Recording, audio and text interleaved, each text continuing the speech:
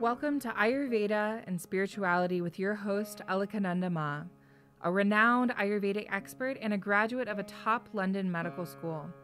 She is the principal of Alandi Ayurveda Gurukula, a unique apprenticeship style school in Boulder, Colorado. She is a spiritual mother, teacher, flower essence maker, and storyteller.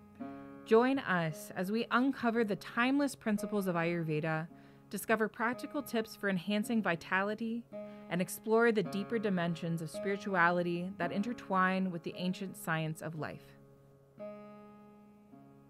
Welcome to Satsang. Satsang is a meeting of hearts, a gathering of friends to inquire into the truth. Today we are going to address the topic yoga and Ayurveda.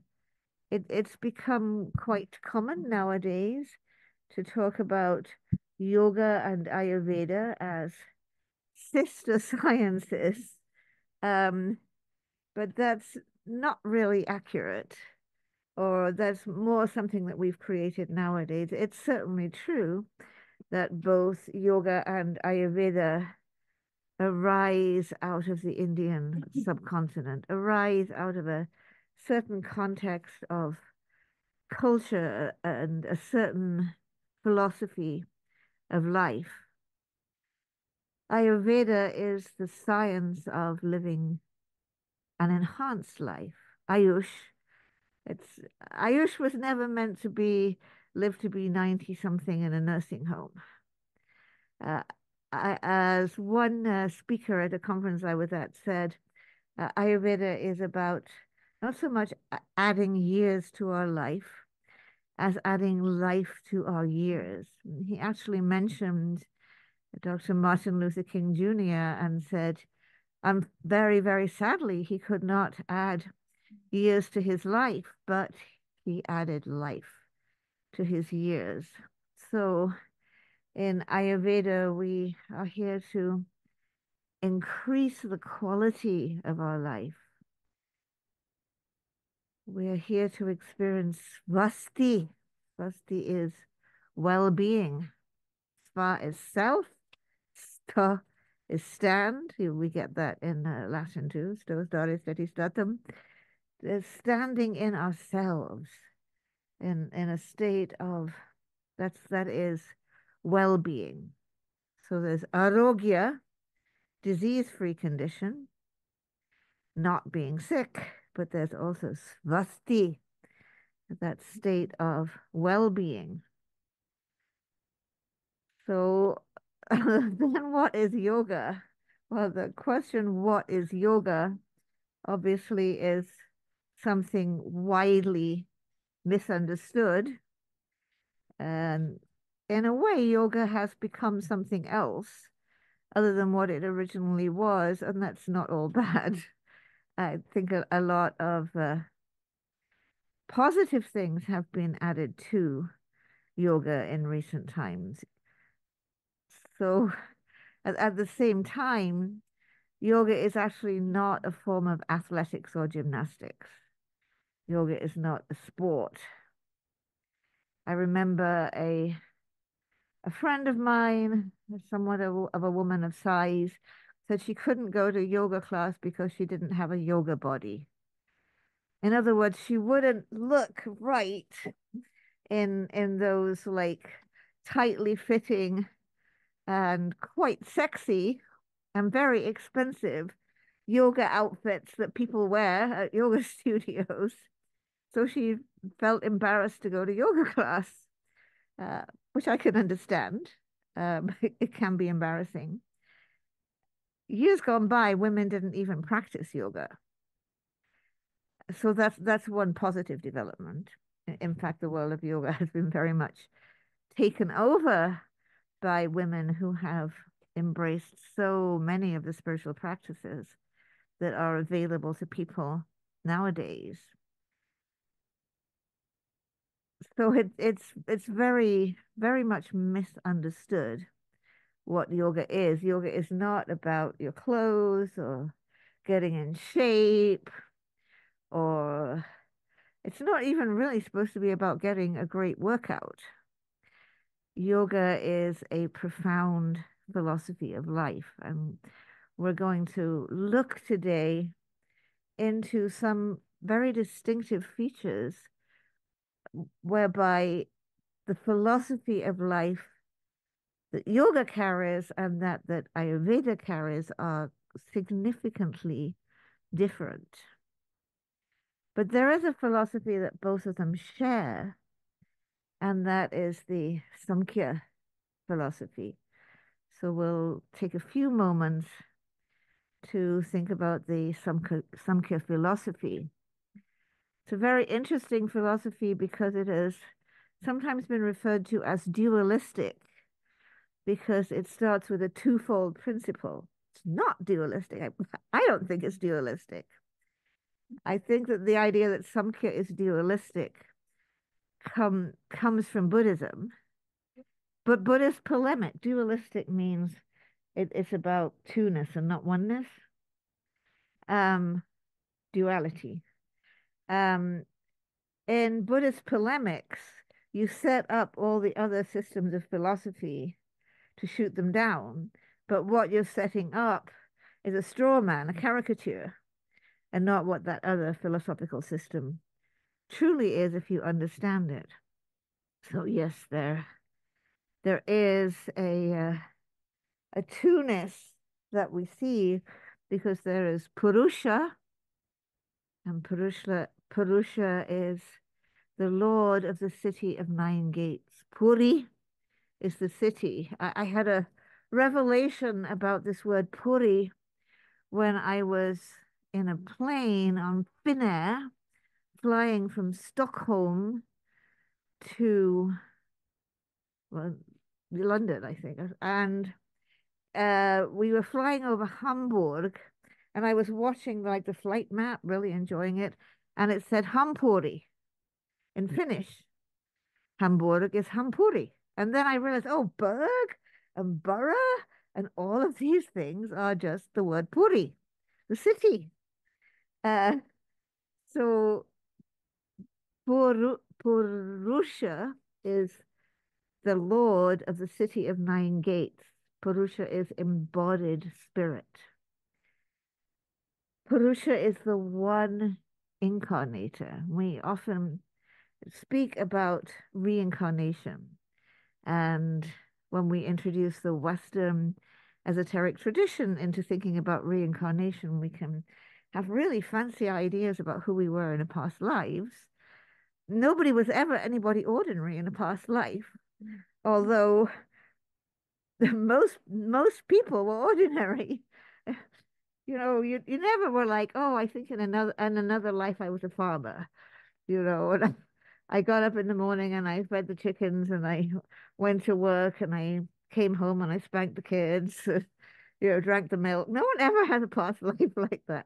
People were only somebody like super important in a past life. But that's that's one way of looking at reincarnation as I was this person or that person, but in a very pure philosophy as we see it in Bhagavad Gita, Purusha is the one incarnator in all bodies. I, I remember hearing this from Father Bede Griffiths at Shantivanam in South India.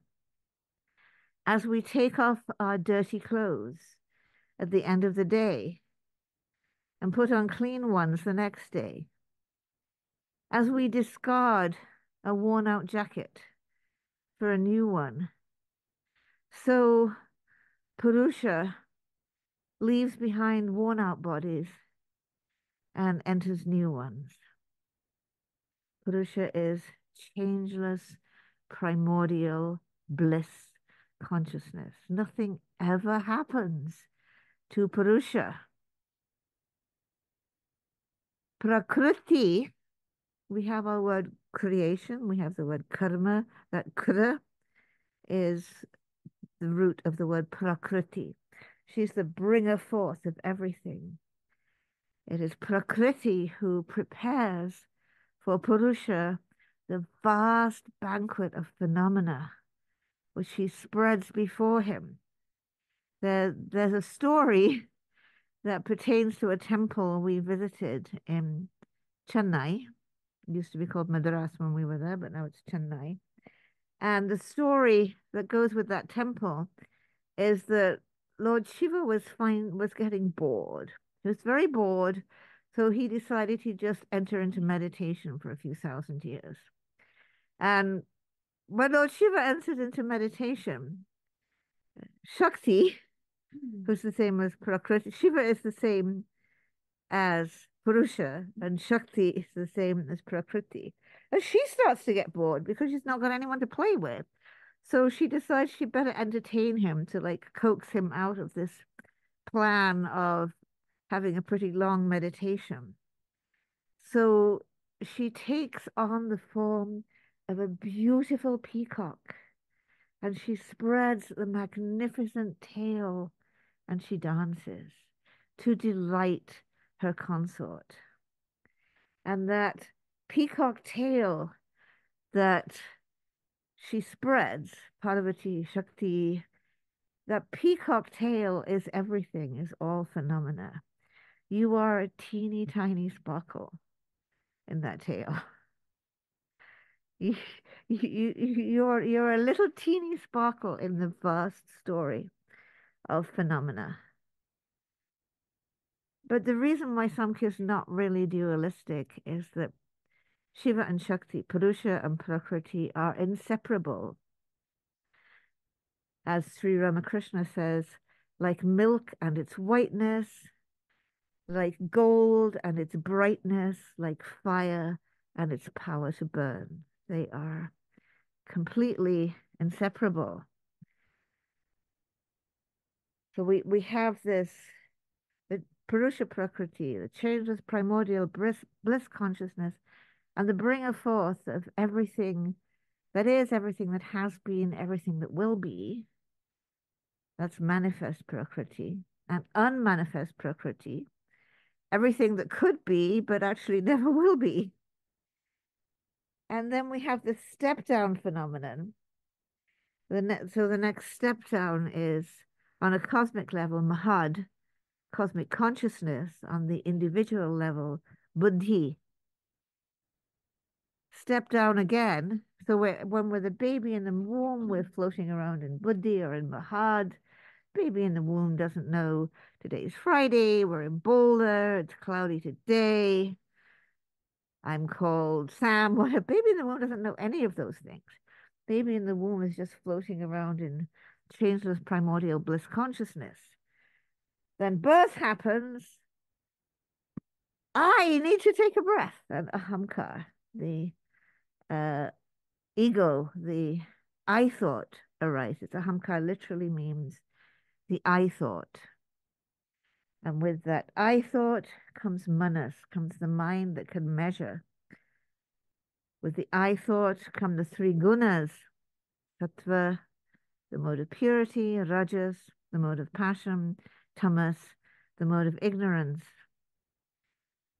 And arising from here come the five elements, space, air, fire, water, earth, come the five jnanendriyani, our five senses, come the five karmendriyani, our five action organs, come the five tanmatras, the uh, objects of the five senses.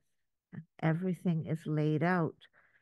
So that Samkhya philosophy is very fundamental to both Ayurveda and yoga, even though yoga in and of itself is considered one of Shadarshan, one of the six systems of philosophy, its own philosophical system, yet it does draw very much on having Samkhya as a basis. Ayurveda also does use all of the six systems of philosophy, but does root itself very much in Samkhya. So that's uh, that's something that they really do have in common. However, yoga and Ayurveda embody very different approaches. They are very different as paths. So we're going to look into that a little more. Basically, yoga, as we know, has eight limbs. Uh, yoga begins with yama. Yoga begins with our ability to follow moral discipline. Very, very similar kinds of moral discipline to those found in Buddhism, also.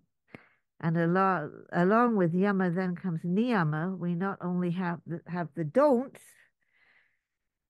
thou shalt not kill, thou shalt not steal, thou shalt not commit adultery, etc. We also have our positive duties, our positive observances, and that's the niyamas. From there, we come to the popular part of yoga, which is asana. Uh, all the different postures that are used in yoga, which we actually weren't supposed to start on until first, starting on yama and niyama. But things are a little bit different nowadays. We also have to practice all of those asanas within yama and niyama. So if if you if you're the sort of person that ruptures your knee by how you do Paschimottanasana, you didn't practice with ahimsa. right? We we have we in every asana that we want to practice, we actually have to introduce all of the yamas and niyamas in order to practice the asanas properly. And there's really two different and very important streams of yoga that I've had the chance to study during my life. The the eightfold yoga, Ashtanga yoga, that comes from Patanjali's Yoga Sutras. And here, the whole point of doing asana is for Sthira Sukhamasana to be able to sit comfortably and meditate. I became aware of the importance of that when I first arrived in India at Shantivanam, and everyone's sitting on the floor we're, we're, we're in we're in the little temple and Father Bede is conducting the mass in Sanskrit and then we're meditating we're listening to his talks and all of us newcomers are squirming around because we we haven't gained the ability to have sthira sukhasana. If you're supposed to be able to sit without moving for three hours, which the great Swami Shivananda says is essential for the for the practice of yoga, then you have to be able to practice other poses, strengthen all of your muscles to gain that ability. Something I realized after only after I introduced belly dance into my practice did I realize that being being able to sit on the floor straight is not only about your back muscles. you have to actually lift your chest which for those of us well endowed in the bust area takes some work, takes some effort. As we were getting pulled down. And, uh, I learned that from belly dance because we kind of like wiggle and jiggle and generally make a lot of uh, interesting use of those muscles. Because remember, yoga was designed for men. belly dance was designed for women, so we have to sort of like mingle the two a little bit. On the other hand, there's not only Patanjali, there's also Hatha Yoga Pradipika and Gheranda Samhita, which really, really delves into each and every asana and their benefits. So for once we start introducing yoga as chikitsa, yoga as therapeutics, which it never was used for in mm-hmm. ancient times, it comes in very handy to have those texts that tell us the benefits. Stupendous benefits. I mean if you if you if you do your sarvangasana your shoulder stand properly for a long time you'll like live for like a thousand years or something. Uh, of course it's hard to do it properly enough. So we've now, from the asanas, we go on to the pranayama, breathing techniques, methods of increasing prana. These have also become greatly popularized nowadays. Has to this has to be properly taught by a proper teacher because you can do a lot of damage to yourself practicing pranayama. In fact, Sadananda and I studied uh, beginning, intermediate, and advanced pranayama, and came back to Nadi Shodhan. Is it? Is that having studied advanced pranayama, you can really see the benefit and the beauty of ground level, which is Nadi Shodhan. But then something really interesting happens in the path of yoga. Once we've learned to live in a decent way through yama and niyama, once we've developed the ability to sit in a good posture, once we have enhanced and increased our prana with pranayama, now what happens? Pratyahara. We withdraw our senses. Dharana. We concentrate. Dhyana. We enter meditative absorption. And samadhi. We we come into a a state of bliss we come samadhi really means we are sim, established simply just sitting there it's something we go into and we come out of until you get to the level of Raghudas, our guru, and you you come into a type of samadhi that is is permanent, but you can you you can uh, carry on your everyday life. You can talk to the villagers about the price of rice or cooking oil. Uh, you can help someone re resolve the land division. You can laugh and joke, but you're always you. This is called the Sahaja Samadhi. It's it's beyond jnana. It's a, a state where you're ever in samadhi, but you're able to carry on your daily life.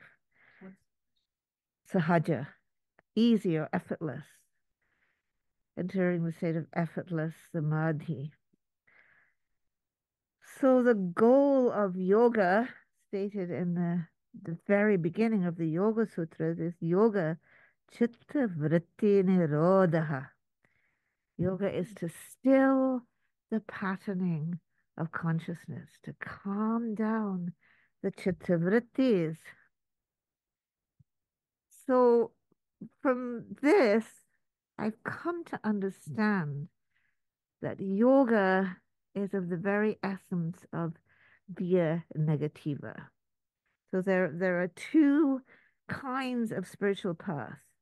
Via negativa the negative way, not meaning negative in any bad sense, and via positiva, the positive way. So via negativa is this whole process of sense withdrawal, focus concentration, meditative absorption,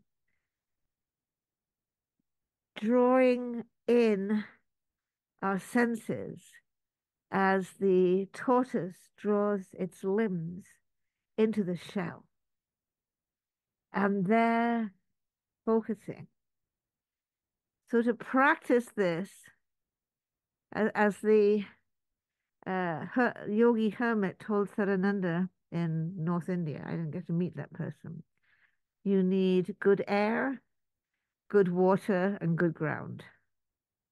Which, by the way, is basically unattainable uh, anymore on our planet. E even when Sarananda and I were living at 10 and a half thousand feet in the mountains. We were engulfed in smoke by the massive fire from well, at Yellowstone, hundreds of miles away. It's uh, you can get out of the brown cloud if you go high enough up, but it's hard to really get good air. We've looked in some of our classes of how the these legacy toxins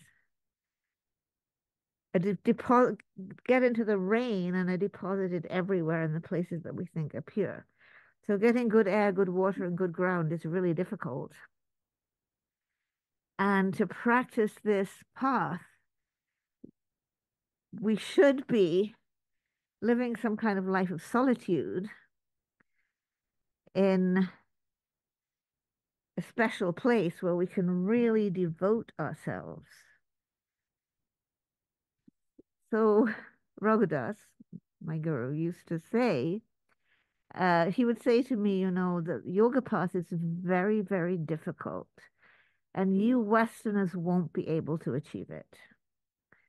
Yes, yes, for sure. Do do do do your asanas, so you can sit, and they're good for your health, and that's very nice. But you're not going to attain through that path. Your path is bhakti. Yours is the path of devotion. Then I brought my mm. friend Kathy, who was studying at the Iyengar Institute. And he said, Oh, she is making progress on the path of yoga. But you, you do bhakti. You, you, you follow bhakti. So it is it is a more difficult path to follow that via negativa. And there's also a way in which ultimately the two come together and are not different from each other. Ayurveda, along with Bhakti and Tantra, is via positiva. Via positiva means we embrace all the things of this world. We work with the senses. We do not withdraw our senses, we engage our senses.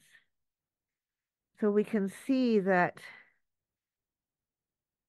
since Ayurveda says that health is the basis of everything and encourages us to enjoy a good sex life, good food, tasty food, pacify our senses with uh, proper enjoyment right? In, in Ayurveda, not only are we not supposed to overstimulate our senses with like way salty food and loud music and fast cars and alcohol. We're not supposed to overdo it, but we're also not supposed to underuse them either. Remember, that's one of the causes of disease is underusing our senses. We're supposed to have an appropriate engagement for all our senses in order to enjoy well-being and disease-free condition. Provide them with good, nice, enjoyable, appropriate objects. So that that to me is a massive difference between yoga and Ayurveda because Ayurveda, as I've been taught about it from the beginning, lines up with bhakti and tantra as a path of using our senses using all the objects of the senses and employing them in order to progress spiritually. If you remember the story that I always love to tell about the Buddha when he's done all these yogic austerities and he's so skinny and he's so weak. And yet he's just as stupid as ever. And then he he goes, he thinks, I've got to, I've got to get somewhere. I've got to do something. So he goes and he finds a nice tree, a peepal tree, and he goes and sits under it. And he says, I shall meditate and attain enlightenment. And he goes to meditate, and he's so weak. And because his body is so weak, his mind is so weak, he can't settle himself. And right then appears Sujata, appears a woman a cow a cowherd woman with a bowl of delicious kheer And the Buddha eats the delicious kheer, and that strengthens him. And then he sits in the firm pose, the full lotus. And then he meditates and he withstands the attacks of Mara and he remembers all of his past lives. And as the sun rises over the Ganges plains, the Buddha awakens. But he couldn't have done it without that moment of well being. I forgot the most important part of the story, which is so when he sits down and he he can't meditate, he has a flash memory. He has a flash memory of another time that he was sitting under a tree. He was sitting under a rose apple tree in the beautiful palace garden when he was a little boy. And he remembers the feeling he had then. That just feeling of contentment and well being. And he thinks that's what I need to start my meditation. Then Sujata arrives with the bowl of kheer. And he experiences a well being from eating that delicious food prepared with love. That was the foundation for him attaining enlightenment.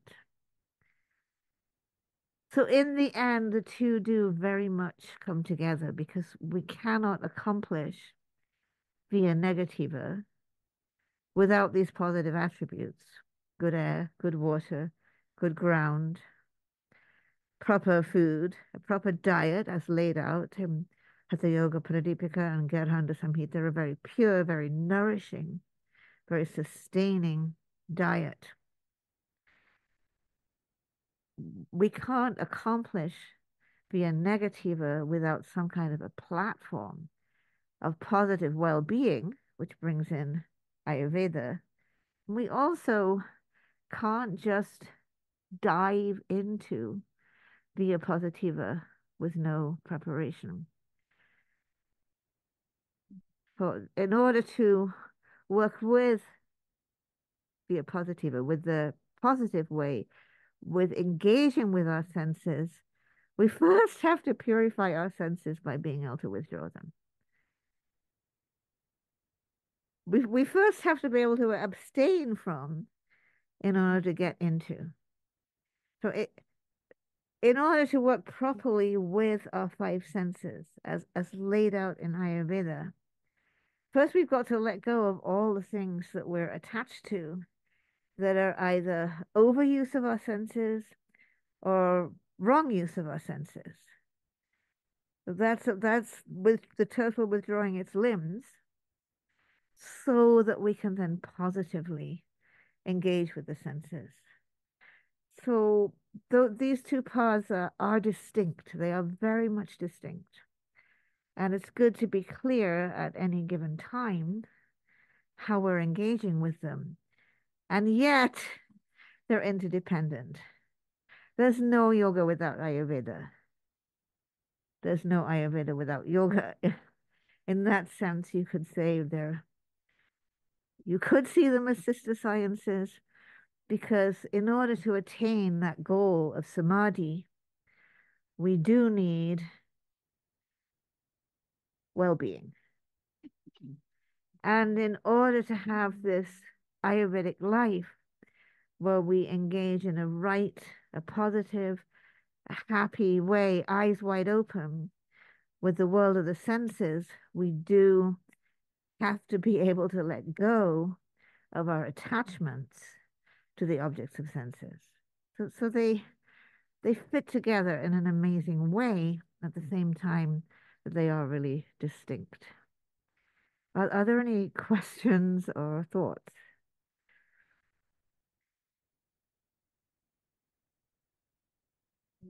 I appreciate the framework of the positive, like that makes a lot of sense. So I just that was a helpful, I hadn't heard it so directly like that, but it really makes a lot of sense in how they inter, how you need one for the other, that they interrelate to each other as well.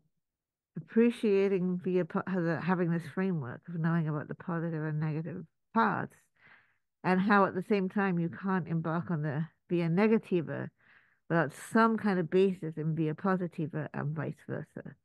And there there's an important interplay between them, and they are both part of our spiritual journey the ability to let go and the ability to engage. There's two ways that we can make a Shivalingam. We can make a Shivalingam that's simply unhewn stone that is that which cannot be known. Uh, neti neti. That which we can only know by negating everything everything we know and going beyond the known. Uh, that's known as nivritti. The the the the turtle drawing in its limbs. That is the nivritti, the going beyond all the vrittis. Then you can. There's also a shivalingam that has faces facing in all the directions, and that's the pravritti. That's the coming out to engage with the objects of sense in the world. Any other questions or comments? Just to clarify, so via negativa would be let, like I'm just not sure about the word drawing in. Is that in like letting go? So if you think of a turtle or a tortoise, mm-hmm. um, have you ever had a pet tortoise? We have my sister Kate always had pet tortoises. So if you tap on the shell and they get a little bit scared, then they'll pull their limbs inside the shell and they'll even pull their little heads inside the shell. That's the drawing in. That's what we mean by drawing in. And how instead of your senses going out to the outer world, your senses are going in and examining the inner world. Mm. So instead of like hearing other people's advice, you draw them in and you hear mm. your own advice instead of seeing what's happening outside, you see what's happening in our And that would yeah, that would be more yoga. And in the path of yoga, we draw we uh, the process of pratyahara. That's the meaning of pratyahara. We draw all our senses within, like Caitlin was saying, which the um, speaker microphone might not have picked up what you were saying. We we we draw our senses in, so we're no longer looking with our outer eyes, we're looking within. We're, we're no longer tasting. We're tasting the bliss molecules within. We draw all our senses within. Is that gelling? Yeah, that makes sense. But then maybe I need now clarification and engaging our senses. So outwards. engaging our senses outwards in the path of Ayurveda bhakti, the, the yoga of devotion, and tantra means we we're doing the opposite of what we've always been taught the spiritual path is. If we've been taught the spiritual path is asceticism and turning away from the objects of sense. In this way, we we engage with, we relate to all of the objects of sense.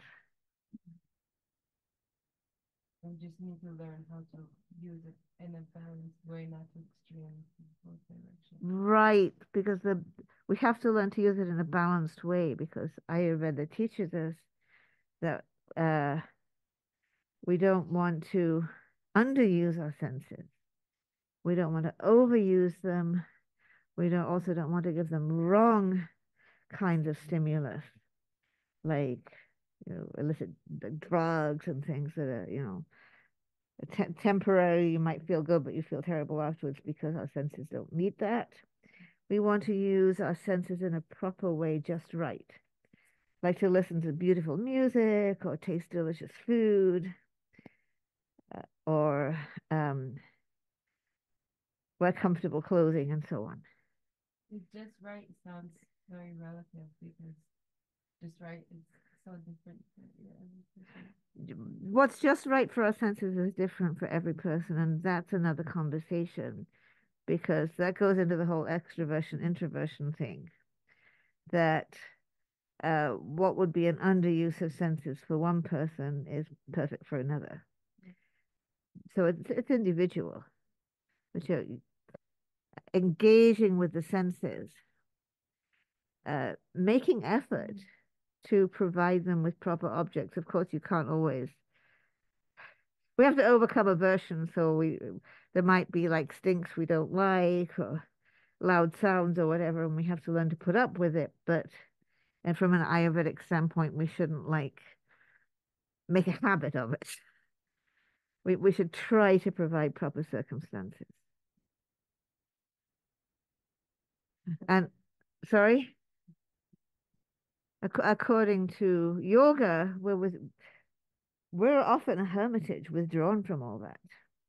There, there's a quote from the um, Desert Fathers. The the Desert Fathers say things very similar to what is said in Pirkei Avot. There's like short, pithy things, and one of the Desert Fathers, they would went off to live in the desert, like in the Sinai, like in the desert, and and meditate and pray. One of them said, "If you can hear a bird sing, it is not silence."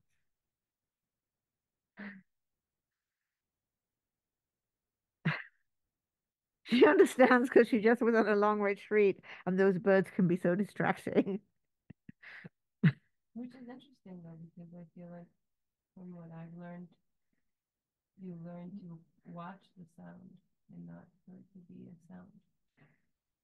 Yeah, you you can definitely meditate and learn to watch the sound, but in in this in Via Negativa, it was really set up for going and living in a cave in the Himalayas, or you can do it in a hut in the desert, or any of those like suitable places where you can be completely alone and free from all these uh, sense distractions. There, there was a saint Saint Simon Stylites. There were there there were saints that went and lived on pillars, and people would come and bring them food, and they'd pull the food up, uh, kind of like Julia Butterfly did uh, in, in her redwood platform. But they just lived on this pillar. I I know about that because I was in a play, in which I was one of the characters that came and disturbed, uh, disturbed him in his practices on the pillar. okay. So that's a little look at my take on yoga and Ayurveda, ways they come together and ways that they differ. Thanks for listening.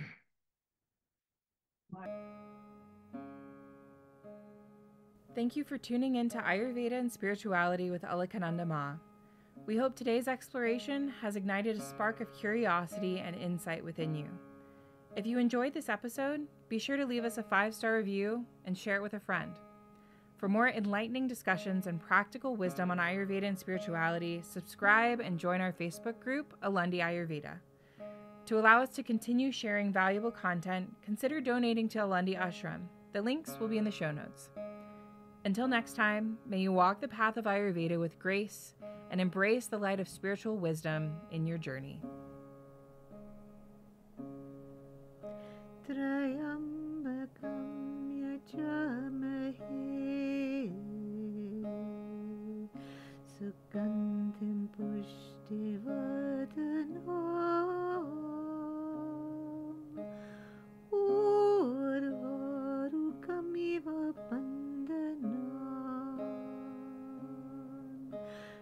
iubiți urmuc și amor.